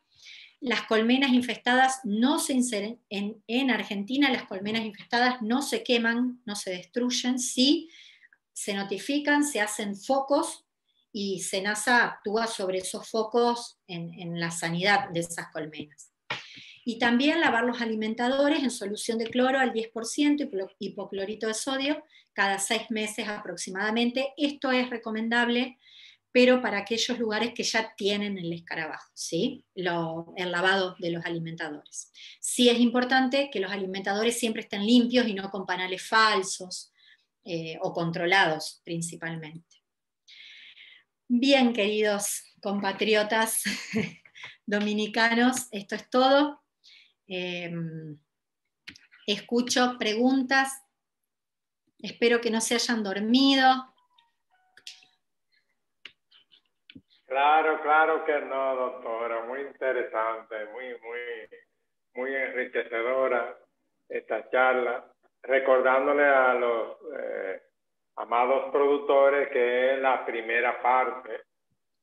Eh, la doctora ha tocado eh, aspecto tan importante, bueno, el número uno, que es de la barrosa y el pequeño escarabajo de la colmena, para que en sus intervenciones, preguntas o, cualquier opinión eh, tengan presente que solo, solo estas dos plagas, eh, la barroa destructor por un lado y el pequeño escarabajo.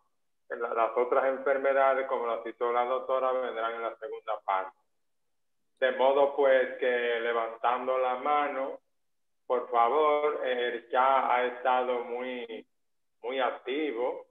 Eh, la doctora debe, la doctora Castillo, es bueno, como ella ha estado activa ahí en el chat, eh, hágase un resumen, por favor, porque muchas preguntas se las han contestado ustedes mismos ahí, en lo que los eh, amables productores van decidiéndose a su pregunta. Hagan un resumen, por favor, doctora Castillo, de, del chat.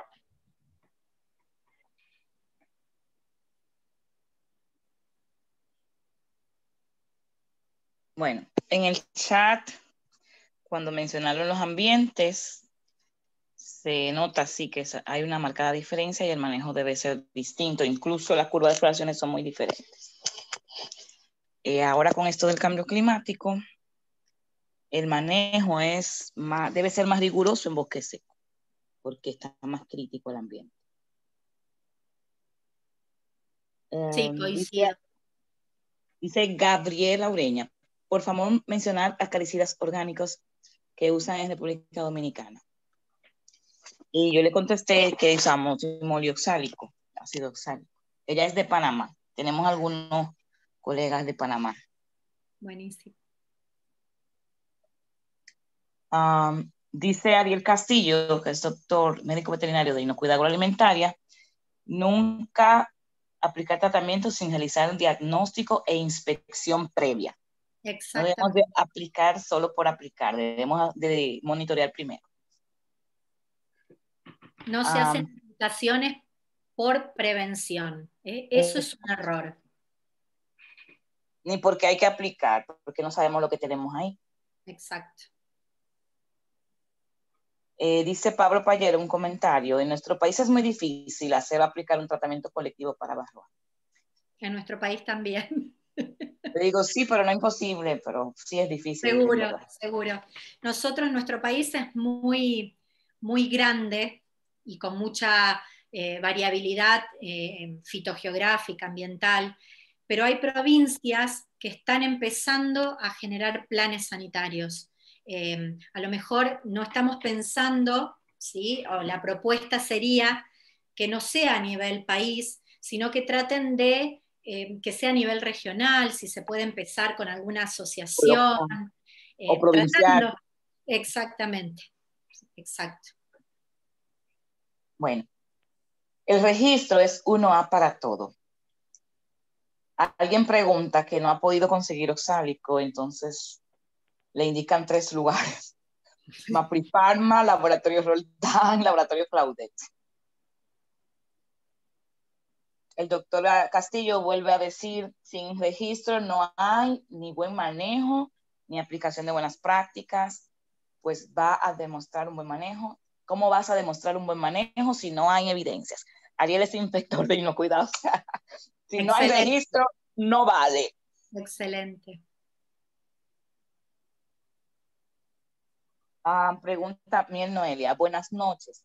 El producto veterinario de Aloenca, que es a base de ácido oxálico, ¿nos podría ayudar a dar información de este producto? Es argentino.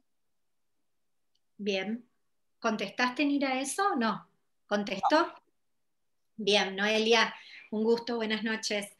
Em, el producto es argentino, hace un par de años, es un producto muy reciente, fue patentado por una cooperativa y mm, eh, lo distribuyen. Hay muchos productores que lo están utilizando en Argentina. El principio activo es eh, ácido oxálico y el producto viene en cuatro, son cuatro tiras de, mm, un eh, donde el ácido oxálico está embebido y que se pone de esta manera ¿sí? sobre los cabezales, en los cabezales intercalada, de manera intercalada. Em, el tratamiento es aproximadamente de, 42 días y, bueno, y es un producto orgánico donde el productor no tiene que ir repetidas veces a volver a aplicar el tratamiento. Em, presenta facilidades ¿sí? para, el control de la barrosis. Eh, lo que sí es importante resaltar que hay que ajustarlo bien a las condiciones ambientales y a, la población de, abejas que tengan en sus colmenas.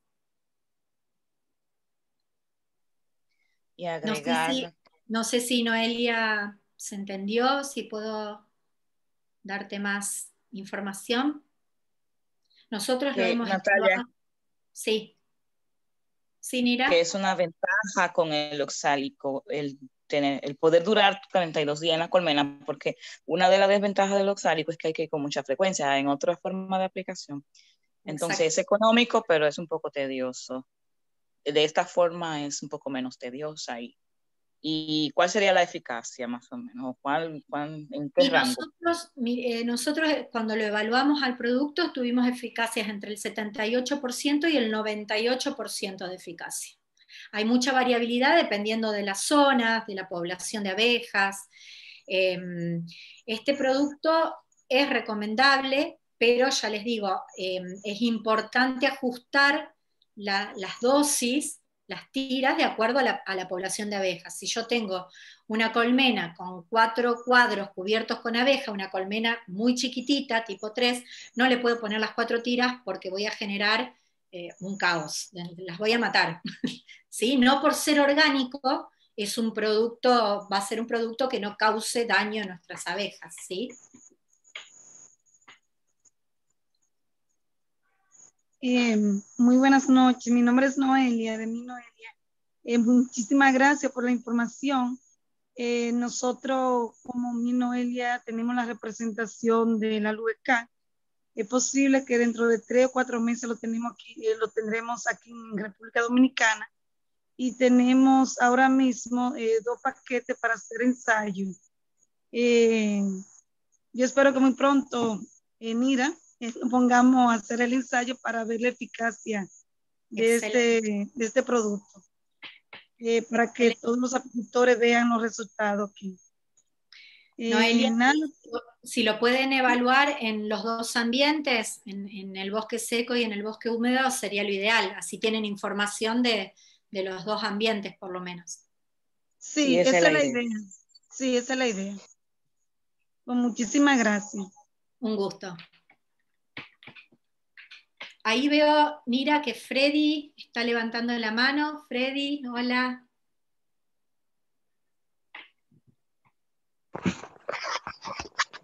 Buenas noches.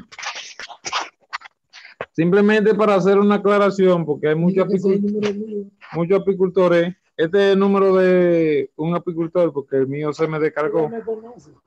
Eh, de Richetti. Hay muchos apicultores que quieren medicar eh, encima de la floración. Y es para hacer la aclaración de que no se debe de medicar cuando está la floración, porque va a contaminar la miel, sea químico o orgánico. Exactamente. Fíjense, cuando yo les mostraba las curvas de floración, cuando monitoreábamos antes del del aporte, si antes del ingreso, cuando empieza a subir la curva de floración, cuando empieza, antes de que empiece a haber néctar, y cuando bajamos a cámara, cuando terminamos todo el ciclo productivo.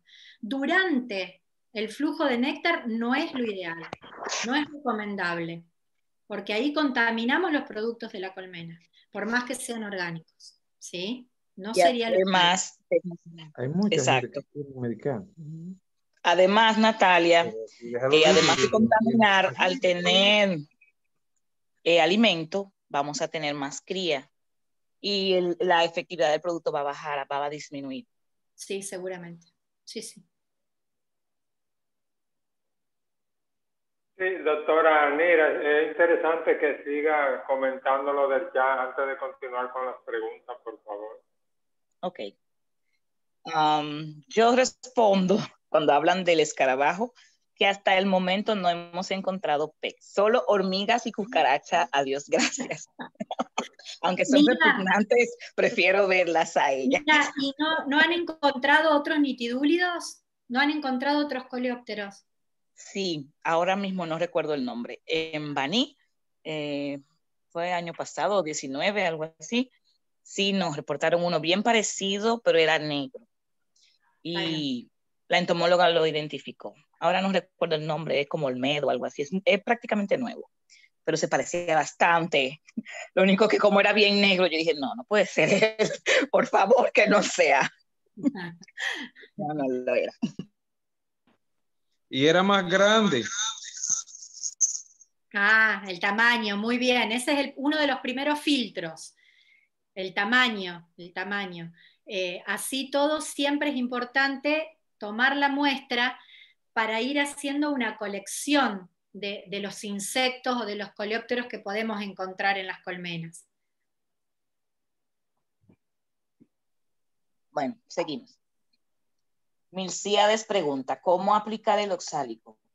Dígase medidas por litros o galón. Bueno, Milciades. Fallero dice, siempre tener colmenas fuertes para evitar el deterioro de la misma.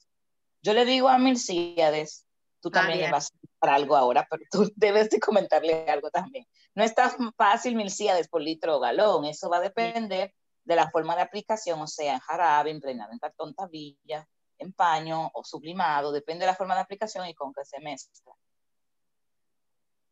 Ahora contesta la Milciades, por favor. Está bien. Eh, no es fácil. ¿eh? Un segundito. Eso depende de la forma de, ah, de aplicación. Yo en realidad eh, no, no voy a recomendar cómo aplicar el, ácido oxálico de manera artesanal. Eh, yo solo puedo comentarles los productos que tenemos eh, nosotros, que es el ácido oxálico que se aplica en solución y el ácido oxálico en, las tiras. Eso es lo único que puedo recomendar porque lo he evaluado, porque lo hemos evaluado, porque tenemos datos comprobados. Eh, no así los otros productos, ¿sí? que no son productos comerciales en realidad, eh, son productos artesanales. Perdón. Eh, nosotros hemos evaluado el sublimado de ácido oxálico, pero también hay una variabilidad muy, muy grande entre la cantidad de dosis, el tipo de oxálico, la pureza del oxálico, la cantidad de tiempo que se se sublima por la piquera, el oxálico. Em, así que no tengo, lamentablemente no le puedo responder porque no tengo datos de, evaluaciones. Bueno, nosotros hemos probado tanto productos eh, de laboratorios para abejas como artesanales. Respecto al oxálico, en jarabe hemos tenido eficacia desde un 52% eh, de manera artesanal, hasta un 72, algo así, 73. Em, ya un producto de el que mencionaste ahí de laboratorio con oxálico en jarabe eh, nos ha dado sobre los 70. Sublimado lo probamos una vez con uno de los aparatos un poco más, vamos a decir como que tiene una dosis más estándar o de los que están más calibrados, un alemán, un aparato alemán que nos facilitó un apicultor y nos dio sobre el 52%. Pero notamos que moría mucha cría. Eh, y se mezcló esa vez con alcohol. Yo sé que también se puede mezclar con oliva, pero así no lo hemos probado. Eh, reciente, no hace, hace como un año, probamos eh, artesanal también, porque queríamos probar, ¿te acuerdas? Que queríamos probar el aloencat y no se pudo conseguir en el 2018. Entonces, en el 19 probamos artesanal, eh, tanto en tirillas como en paños, y también dio parecido, sobre 60, 70, o sea, dio muy bajo en realidad. Bajos. Hay que tomar en cuenta que es artesanal. Entonces ahora pretendemos hacerlo con el, con el de laboratorio de la Luenca ya, en tirillas. Perfecto. Para poder comparar y tener opciones. Está bien. Bueno, em, vamos a ver.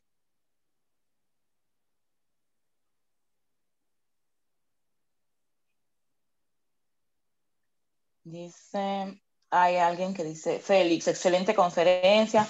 Me gustaría saber si con la velocidad que, se, que estás desarrollando ese escarabajo, es extraño que no se estén practicando con algunos tratamientos. ¿Hay algo con que estén probando tratamiento? O sea, para el escarabajo. ¿Vos respondiste, Nira? No. Bien. Eh, en realidad, no, desde que apareció en Estados Unidos en 1996 se han probado un montón de productos, incluso los acaricidas han probado. Pasa que, eh, por ejemplo, con respecto a las acaricidas se necesita mayor concentración de acaricidas para poder matar al, escarabajo y la línea, ¿sí? la, la dosis letal entre el escarabajo y la abeja es es prácticamente similar. Entonces, si matan al escarabajo, mataban también las, a las abejas. Hay otros productos también que han utilizado en otras concentraciones, que no las recuerdo sinceramente, em, en las cuales mataban los escarabajos, pero se generaba resistencia rápidamente, porque el ciclo reproductivo es, es muy, muy em, rápido, y han probado diferentes trampas también, algunas con productos para, con productos para controlarlos, como el ácido bórico, no han tenido eh, buenas respuestas. Eh, todo lleva justamente a esto, a que el control en la sanidad, en la nutrición, en la fortaleza de las abejas, hacen al control del escarabajo. No sé si respondí la pregunta. Bueno, Sandy Matos pregunta, en el país se dificulta el alcohol etílico al 99%. ¿Qué tal el del 70% para curar con oxálico sublimado?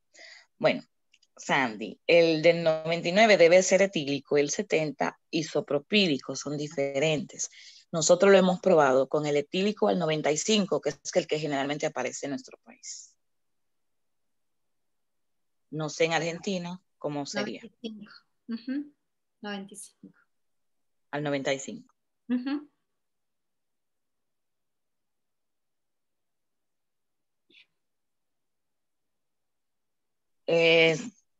Apitechnic, creo que es Ricardo, tiene la mano levantada. Puede eh, hacer su pregunta, que ya en el chat no veo nada. Eh, muy buenas noches con todos. Eh, Natalia, gusto, ¿no? De de conocerte por este medio y felicitarte pues por la, el gran aporte que estás haciendo con respecto a, esto en lo que es la parte sanitaria de, en la apicultura. Eh, aquí en República Dominicana eh, inventamos mucho ¿no? con respecto a esto del ácido oxálico. Ya hacemos, eh, sin tener una capacitación, comenzamos a inventar y aplicar productos, productos, distintos productos, en la cual eh, hay apicultores que conozco eh, que han perdido sus colmenas. ¿ya? Han perdido sus colmenas por la mala aplicación. Por la mala aplicación, poniéndolo eh, con toallas, con tiras, y, realmente es lamentable. Hay que, hay que capacitar, ¿no? Capacitar y, y felicitar también de parte también a la Dirección General de Ganadería por dar la oportunidad de ingresar el primer producto orgánico, orgánico para el control de la barroa, ¿ya? que aquí en República Dominicana no hay un, un se llama? un producto eh, un producto para el control de la barroa. Va a ser, o sea que va a ser el primer producto eh, registrado. Registrado. Registrado por la Dirección General de Ganadería, con toda eh, la hemos tenido el apoyo pues de la doctora Nira Castillo, para obtener toda esta, representación exclusiva de parte de los amigos de la cooperativa eh, Apícola Pampero, ¿ya? y en la cual estamos con todas esas coordinaciones con ellos. Y también hemos recibido el apoyo, el apoyo continuo de nuestro amigo Lucas Martínez, ya que es el presidente de la FILAPI, ¿ya? Y de SADA y también eh, presidente de Apimondi en América. Bueno, es un hombre que es un, una hormiguita que para trabajando y realmente muy pronto lo vamos a tener también aquí en República Dominicana eh, con los amigos de, CAC. Cuando ya dentro de dos meses hagamos el, lanzamiento de este producto orgánico argentino ¿ya? Eh, aquí en República Dominicana. Eh, muchas gracias por ese, por, por esos aportes que ustedes nos están dando los hermanos amigos de Argentina con respecto a lo que es un buen manejo, eh, unas buenas prácticas, tanto en lo que es eh, producción, sanidad, ¿no? eh, siempre los tenemos a ustedes a través de, y más por a través de este, de este medio que es el Zoom, ¿no? Agradecer a Juan José, a Fran Arnao, ¿no? Ese, ese, ese dúo dinámico, ya que está haciendo mucho por la apicultura aquí en República Dominicana. Que pasen muchísimas, eh, pasen unas buenas noches y que Dios los bendiga. Gracias, muchísimas gracias por sus palabras. Bueno, eh, tenemos prácticamente dos horas porque comenzamos. Tenemos, acostumbramos a comenzar a las 8 y 5, pero hoy teníamos muchas personas y mucho entusiasmo a las 8 y comenzamos a, a las 8 y 1. De modo que, y sabiendo que en Argentina es las 11 de la noche que van a hacer, así que no podemos abusar. De modo que muchas gracias, doctora. Eh, se creó la expectativa y se llenó. Yo creo que vi en un momento en el listado 65 participantes. Tengo ahora que hacer memoria a ver si en alguna otra conferencia hemos llegado ahí. De modo que muchas gracias a los participantes, a todos los colegas. Eh, muy buenas noches y esperamos en la próxima. a todos miércoles tras miércoles aquí estamos para servirle y compartir con todos. Muy buenas noches. Gracias a todos. Buenas noches a todos. Gracias por la atención y a disposición para lo que necesiten. Seguimos en contacto. Un gusto. Buenas, noches. gracias, Natalia. Gracias.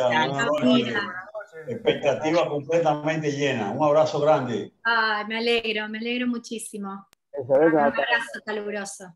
Fran, Fran, una, una sugerencia, Fran y Juan José, que sería bueno invitar a los amigos del CAT, de la cooperativa Apícola Pampero, para que ellos hagan una exposición de, de Aloe CAT, ¿no? Cómo se tiene que, o sea, que manejar, ¿no? Aplicar ese producto.